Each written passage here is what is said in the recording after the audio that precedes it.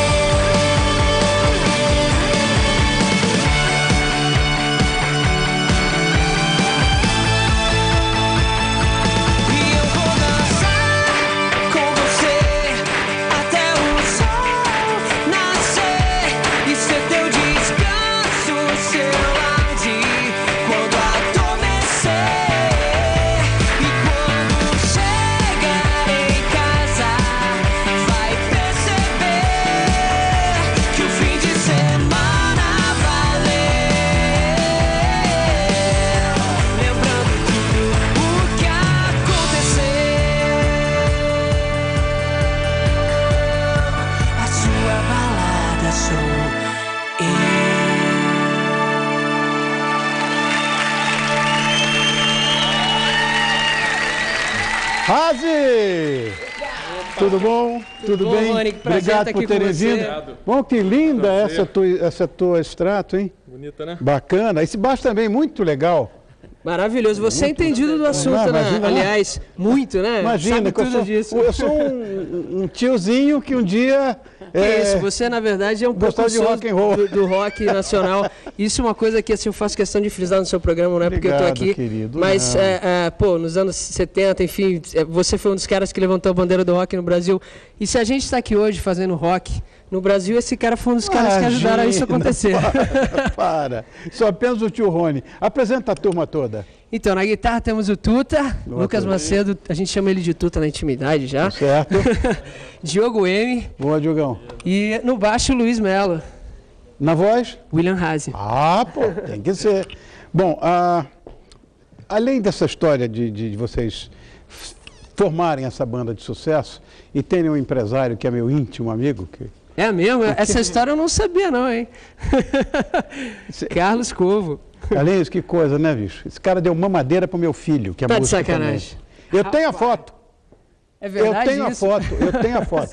Eu procede. tenho a foto, Carlinhos dando uma madeira para o meu filho, que hoje tem 24 anos. Caramba, que maravilha. Lamentavelmente é músico como a gente. Ah, não, mas Bom. isso é uma profissão maravilhosa, Rony. Pô, Mas- Que bom que ele é músico. Já tem tanto advogado no mundo, ninguém precisa mais de um advogado. Que seja músico. que Mas seja... o cara é bacharel em propaganda e marketing, com pós-graduação e tudo, não tem jeito. Não, mas isso é ótimo, Música. porque daí ele vai conseguir fazer o design lá do CD, fazer o marketing do disco, já vai fazer uma parada Ai, que diferente. beleza. Bom, vocês estão juntos há três anos, né? Tá. Três anos. É, isso é um casamento. Como é, como é que esse quarteto se formou? Eu acho que é, é pior do que casamento, às vezes, porque o, o- eu, particularmente, assim, eu acho que todo mundo aqui, a gente passa mais tempo junto, às vezes, do que um casal, né? Claro. Porque o casal, às vezes, dependendo do casal, você se vê à noite quando chega em casa. Às vezes a gente fica três, quatro dias junto, viajando, entra no avião, pega a van, vai para um lugar. E foi bem engraçado, assim, porque eu, eu tinha morado na Inglaterra num período de dois anos e meio. E quando eu voltei ao Brasil, eu já voltei com o intuito de formar uma banda de rock com influências do rock britânico, do indie rock. Tá? E no dia do meu aniversário eu conheci essa figura, que ele estava tocando num bar na Barra da Tijuca e me convidou para dar uma canja e rolou logo uma interação entre a gente e ele já conhecia os meninos. Só Tá que os meninos moravam em Volta Redonda, não moravam no Rio. O, Ah, o tá. Tuta Volta e o eu conheço Diogo. bem Volta Redonda também. E olha o que é destino, Rony. Sim. Um mês depois, esses caras se mudam para duas quadras da minha casa. Aí era para ser. né? Deus é tricoteiro. ah, Quando dá para acontecer, acontece, né? E a gente começou a tocar, enfim, no Rio de Janeiro, nos bares. E, e graças a Seven Music, o Gilberto Cardoso, que nos deu a tá oportunidade aí de também, gravar o Gilberto, disco. tá aí. Tá aí. Ainda existe gravadora, ainda É, gravadora com coragem são poucas, É cara. a verdade, Seven é Music é uma delas. é nos deu essa oportunidade. A gente gravou o CD metade no Rio, metade em Nova York, no Platinum Studios. Sim. Que foi o mesmo estúdio onde o U2 gravou o último disco. E, pô, vários artistas aí da música. Quem pode, pode. Quem não pode, se sacode. Na verdade, a gravadora que é corajosa, né? de levar a gente pra lá. Aliás, é é uma coisa que você, assim, tem um grande conhecimento esse lance de estúdio de gravação também, né? Ah, gravei tudo quanto é canto. Eu imagino. vida, meu Deus do céu. E é a coisa que eu mais gosto. O que mais gostei.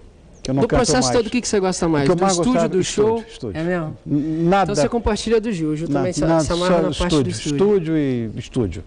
Primeiro estúdio, depois estúdio, depois estúdio. Adoro, adoro. Até hoje. Que não maneiro. canto mais, mas eu adoro. É, os, os meninos são produtores também, tem estúdio lá na Beleza. Barra. O Diogo e o Tuta, vocês são parceiraços. Aí, ó. Tá aí Esse a é o criança. universo. Nasceu o universo da banda Rase. Vocês cantaram primeiro, inclusive, Essa música É de trabalho que já está nas rádios aí pelo Brasil afora. É, e a gente está assim, recebendo um, um super feedback do público que está realmente assim, se amarrando no som. E a gente está muito feliz de poder estar mostrando esse primeiro disco. Você sabe como é que é para uma banda, um primeiro Sei, CD, por uma nossa. gravadora. Para a gente é uma grande realização, né? Uma realização de um sonho, né? E para escolher esse repertório aqui não é fácil. É, é- é um drama isso aí. É, na verdade é o seguinte, a gente é- é, na, na banda a gente tem uma não chega a ser democracia, assim, a gente joga na parede a música. Se ela colar, ela fica. Se ela escorrer, ela tá fora do repertório. tá bom isso. Eu quero aqui também publicamente agradecer a participação que vocês tiveram no especial aqui do nosso. que isso, a gente que agradece, foi Pois é. Eles vão participar aqui, eles concordaram em participar 31. dia 31, eles vão estar conosco aqui. Eh, quero agradecer muito esse convite que foi aceito por vocês num dia tão especial como será o dia né? 31. E torcendo para que 2012 o mundo não acabe, que a gente acabou de lançar o CD. Por a favor, papai do céu, olha Maia! só. Não, socorro! Vamos combinar uma coisa entre a gente aqui, pô. A gente ficou um tempão pra gravar esse disco. Lançamos agora. Se acabar o mundo em 2012, eu vou ficar puto, hein? Sério mesmo. Mais uma? Mas vamos lá. Aliás, essa música eu queria mandar para todas as mulheres aí do Brasil e, e ela fala uma coisa bem interessante, porque o nome da mulher da música é Cris. E eu conheço um cara que tem uma. uma Eu tenho uma crise em casa, crise em dividindo, casa. dividindo a casa e a cama comigo. Aliás, você tem duas que eu fiquei sabendo, a Cris aqui que trabalha também. Também, São a Cris duas, também. né? Só que uma é Cristina e a outra é Cristiane. Olha só, No você tá fundo é tudo Cris. Cris. Quem pode, pode. Então vamos oferecer essa música para elas. Então, em Fechado. todas as Cris do Brasil. Vamos lá. Aí, ó. Vênus. Razi!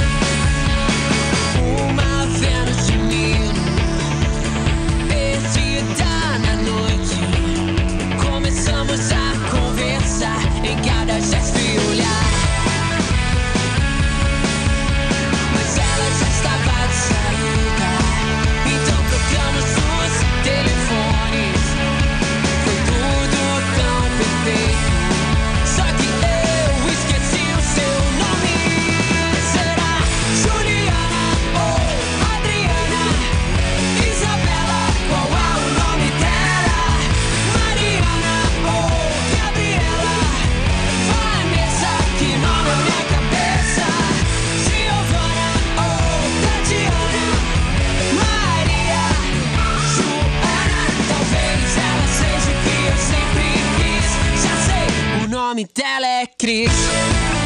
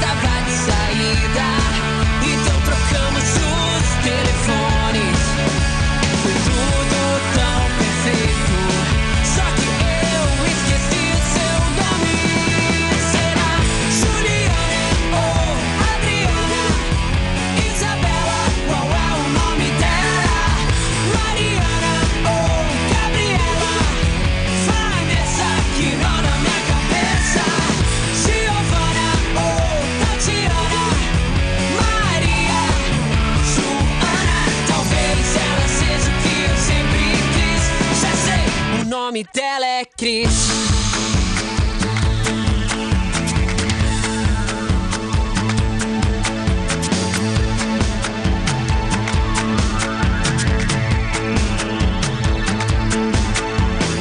Uma Vênus de Milo Perdida na noite Começamos a conversar Em gesto e olhar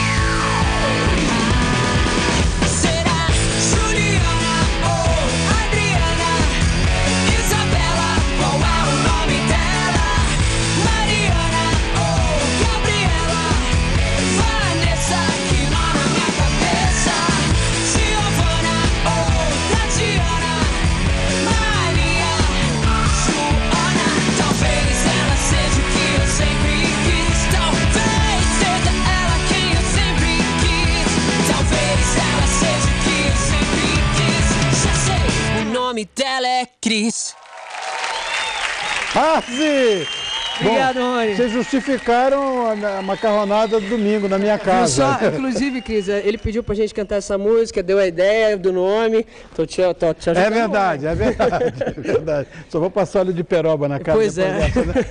Aliás, não, não, não foi feita, mas agora é, né? Já que não tinha uma Cris, vai ser a mulher do Rony. Pronto. Obrigado, queridos, obrigado. Muito sucesso para vocês. Eu que agradeço. Voltem sempre. E muito obrigado de coração Já por terem quero aceito. desejar, por antecipação, um feliz 2012 para você, com muita Obrigado, luz querido. sempre na sua vida. Obrigado, e que você você continue eh, levando, enfim, essa- esse entretenimento de qualidade, que é muito raro para o lar de todos os brasileiros. Obrigado, Tá pelo, bom? obrigado pelo discurso. Só, mas só lembrando o seguinte, tio Rony ainda é rock and roll na veia. Tio Rony, quando é que você vai para o Rio de Janeiro, tio Rony? Você Eu fica sou muito de em São lá, Paulo. pois é, pois é. Tem trabalho demais aqui. Só vou para o Rio para passear, para ir para casa dos parentes, mas qualquer hora a gente se Então, da vê lá. próxima vez que você for para lá, você vai cantar um rock and roll junto com a banda Rasa, ok?